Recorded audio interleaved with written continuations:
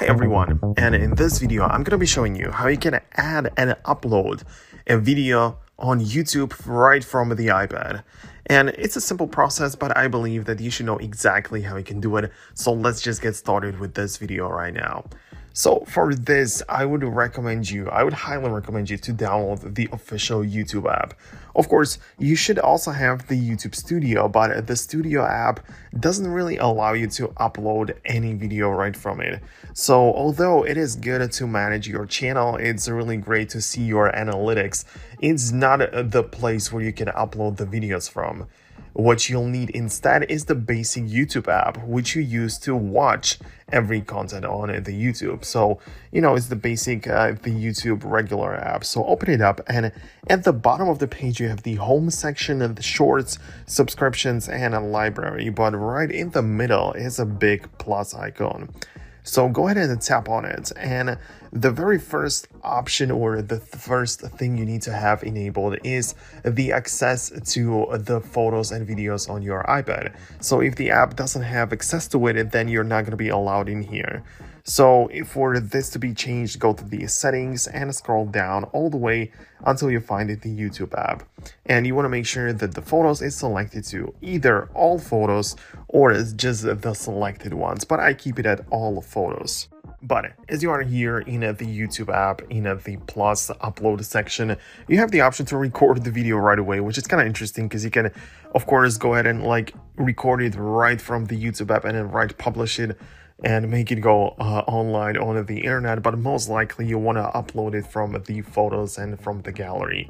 So at the bottom, just scroll down and see and browse through all of the videos that you have on your iPad. So let's say it's going to be this one right here.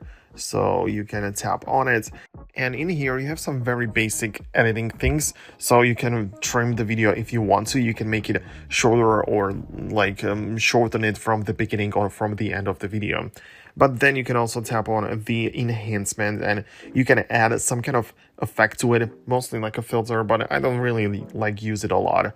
Anyways, uh, then you click on the next button. So tap on the next and this will ask you about some different things. So you'll likely get to the section where you can create a title or to mention someone in the name. You can add a description, choose the visibility, add location, uh, add it to playlists and some other different things. Uh, then when you click on next, you also have the option to choose if the video is made for kids or not. So you can go ahead and tap on that and then you just upload the video to YouTube. And once you do this, once you get through the section, what you're gonna be, uh, what you're gonna have to do is just to wait for the video to be fully uploaded. And from this point on, I would recommend you to use the YouTube Studio app instead. So you can just come back to it and there you can track the progress uh, of uh, the video being uploaded. You can also change some details. You can change the description, edit it as you want. You can upload a thumbnail right from the Studio app. So from this point on, you don't really need to use uh, the basic YouTube app for that you use for watching video. Instead, just use the YouTube Studio where you can change and modify all the settings that you want for the content that you published.